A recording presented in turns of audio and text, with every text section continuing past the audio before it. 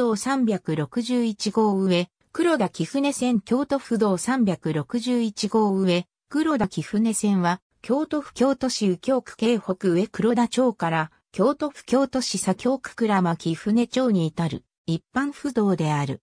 貴船の道幅狭い区間右京区と左京区の間を走る不動であるが、大半は北山の山深い中を、灰や川及び、貴船川沿いに走る京愛寺。全区間舗装済みであるが、未改良区間が大半である。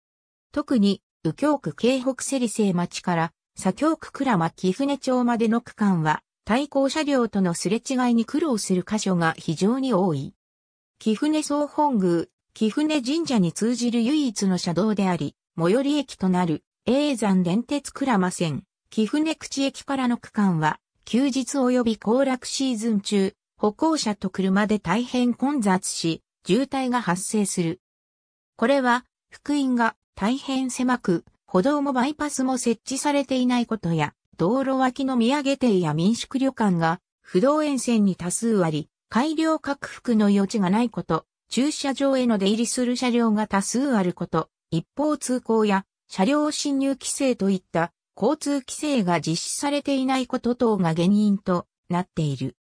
ただし、大型、大特車については、路線バスを除き、京都府道38号京都広川原宮山線の市原から貴船間がゴールデンウィークや夏休みのほぼ毎日と春秋シーズンの週末に通行禁止になる。セリセイ峠。ありがとうございます。